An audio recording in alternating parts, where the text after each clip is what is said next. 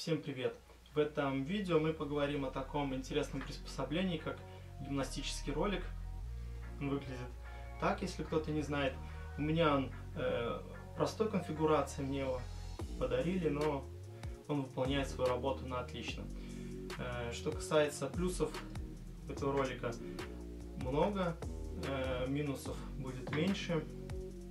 Если вы еще не приобрели, то обязательно приобретайте. Это приспособление поможет отлично прорабатывать э, всю мускулатуру верхней части тела, от пресса до рук.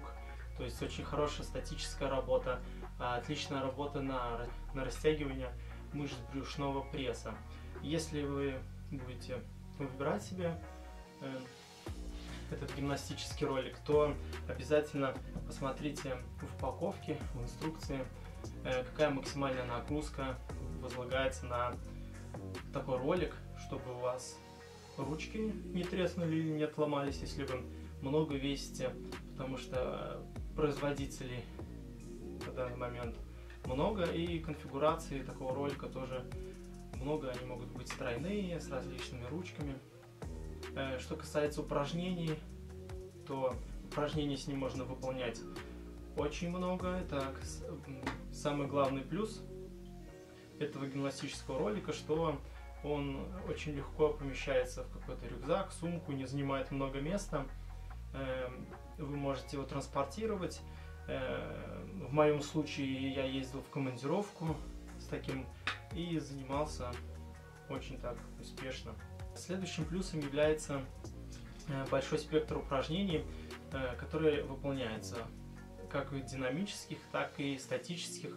Эм, выполняются преимущественно э, брюшной пресс, но косвенно затрагиваются такие мышцы, как трицепсы, как работа широчайших, грудные, плечи также тут работают. Что касается минусов минус этого ролика э, является, когда у человека недостаточно физической подготовки и начинает форсировать тренировку, то он зажимается и начинает выполнять э, упражнения в неправильном режиме, а именно, когда не хватает силы на выполнение, э, человек начинает скручивать вот так вот, получается, спину, и таким образом формируется неправильно осанка.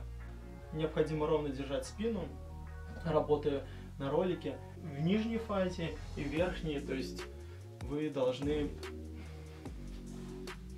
чувствовать, как вы выполняете это упражнение, э, чтобы не навредить спине, осанке, то есть чтобы вы выглядели красиво, и чтобы этот гимнастический ролик приносил вам э, максимально пользы.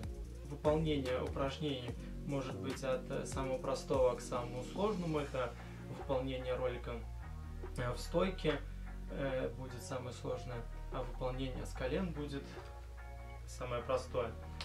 Что касается этого ролика, то очень отлично он себя проявляет в нижней фазе, когда как статика, либо как растяжение пресса можно комбинировать упражнения, например, делать скручивание, а потом делать ролик, э, так как в нижней фазе э, очень хорошо растягивает пресс.